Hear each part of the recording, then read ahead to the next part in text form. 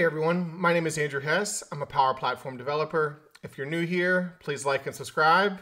If you don't want to like and subscribe, that's fine. Just check out this video. It's going to be nice, short, and sweet. Today I wanted to talk about using the selected file, selected item trigger instead of using modified or created by to trigger a Power Automate flow in your library list, or even I think you can do it from Teams. Uh, you can do it from like a message in Teams. But what I used to do was I used to trigger a flow based off if it was modified or created by. But now what I really like doing is doing it off selected file. So I created a flow here called give link in Teams. And I want to show you how I created that using the selected item trigger.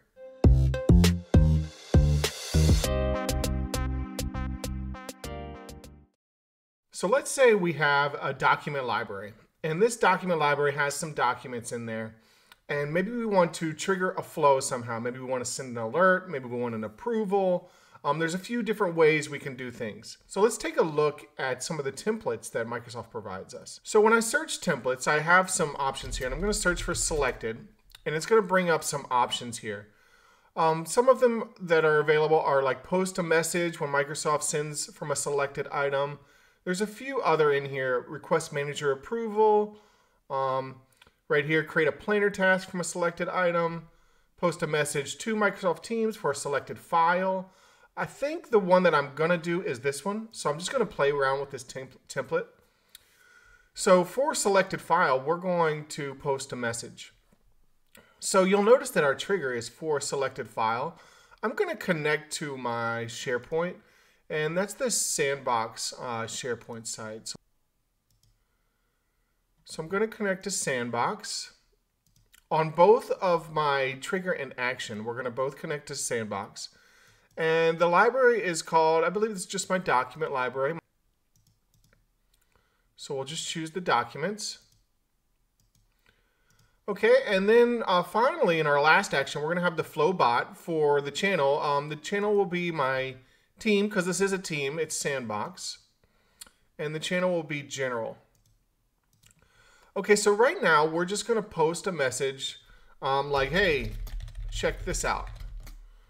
Uh, we can, you know, say, hey, check this out, um, post a message with the name of the document. All right, so let's change up our flow. Let's add a couple more variables in here. So you have to be very careful. This is where it gets a little bit tricky. So we're to do date. And when we rename these things, so you notice it says trigger date here.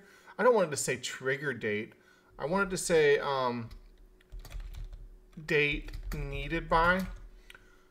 But let's say we come down to our message and we want to write it in, right? So if I write in date, it brings in trigger date. So it brings in the old um, variable. So we're just going to say, I need this done by, and then we'll put in the trigger date. And then we'll do the same thing. We'll add a yes or no. Approved by management. And then we're going to look for it down here. So if we typed in approved, you notice it's, it's going to bring in nothing. But what we need to do is type in yes, no. And when we type in yes, no, it brings in that column. So let's say, was this approved by management? So this isn't very intuitive by Microsoft, but that's just how it works. I'm going to put in a little bit of HTML in here couple breaks just to kind of, you know, spread it out. So we have our selected file. We added some new um, messages in here, and we'll just call this um, message. So we have message date needed by and approved by management. And I'm just going to hit save. Now another thing about when you do um, for selected file is you can't actually test. You can do automatically if it happened before, but there's no manual testing you have to come in here and actually run the test. So we're going to come into one. Um, let's try regular document. And we will run automate. Another thing is we can run it from down here in the three ellipses, right? We can run it from here or we can run it from up here. So I'll just run it from up from down here so we can see our message. Um, this is my new file and the date needed by, we can now fill in that information. Was this approved by management? So we can say yes or no. And now we're going to run flow again. So now let's check out Teams. So we can see now in the general channel of my team, we can see that information and you can see the breaks in there. We have the date. We have this, was this approved by management?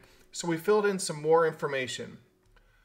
I just wanted to create a short video this week, uh, show you guys the for selected uh, file item, for selected message that SharePoint has and Teams has. Hopefully this was a nice short sweet video for you. My name is Andrew Hess. I'll see you next time.